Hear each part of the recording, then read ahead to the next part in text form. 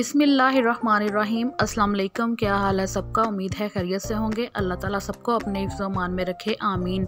Gulzar kitchen and remedies में आपको खुश आमदीद कहती हूँ। अगर आप मेरे चैनल पर नए हैं तो प्लीज़ मेरा चैनल ज़रूर सब्सक्राइब करें। आज मैं आपके साथ बहुत ही मज़ेदार मैंगो डिज़र्ट की रेसिपी शेयर करने वाली हूँ। जिसे बनाना बहुत ही आसान है, ये बहुत मज़े की बनेगी और चंद मिनटों में बनकर तैयार हो जाएगी और बहुत ही कम चीज़ों से हम इसको बनाएँगे। तो चलिए बनाना शुरू करते हैं। इसके लिए हमें जिन चीज़ों की ज़रूरत है, दो मैंगो हमने लिए हैं नॉर्मल साइज़ के, चार चम्मच कॉर्नफ्लोर और एक कप चीनी, आधा लीटर दूध हमने लिया है। सबसे पहले हम मैंगो के छिलके उतार लेंगे। एक मैंगो के छिलके उतार के हम उनको क्यूब्स की शक्ल में काटेंगे और दूसरे का पेस्ट बनाकर रख लेंगे। ये हमने छोटे छोटे क्यूब्स में काट लिया है। अब हम इसको एक साइड पे कर देंगे। अब हम चार चम्मच कॉर्नफ्लोर में थोड़ा सा पानी डालकर उसको मिक्स कर लेंगे। बिल्कुल अच्छी तरह मिक्स करेंगे ताकि इसमें लम्स ना रहें।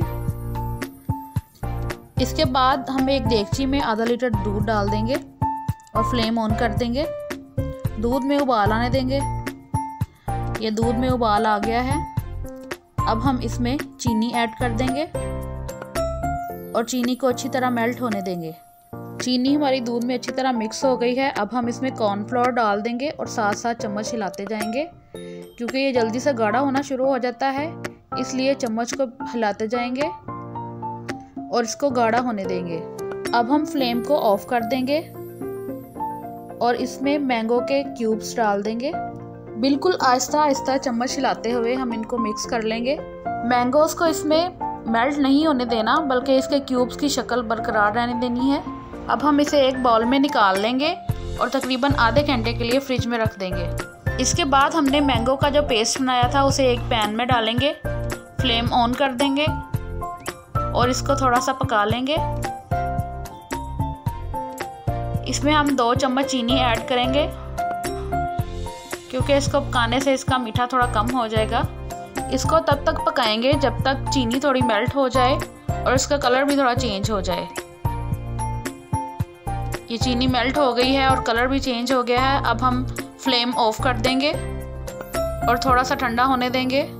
अब हम फ्रिज में से बॉल निकाल लेंगे और उसके ऊपर ये पेस्ट अच्छी तरह फैला देंगे। उसकी एक लेयर लगा देंगे। आहिस्ता आहिस्ता से हर जगह फैला देंगे।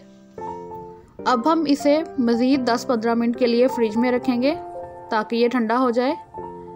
अब इसकी डेकोरेशन करेंगे। आप अपने हिसाब से जिस तरह मर्ज़ी इसको डेकोरेट कर सकते हैं।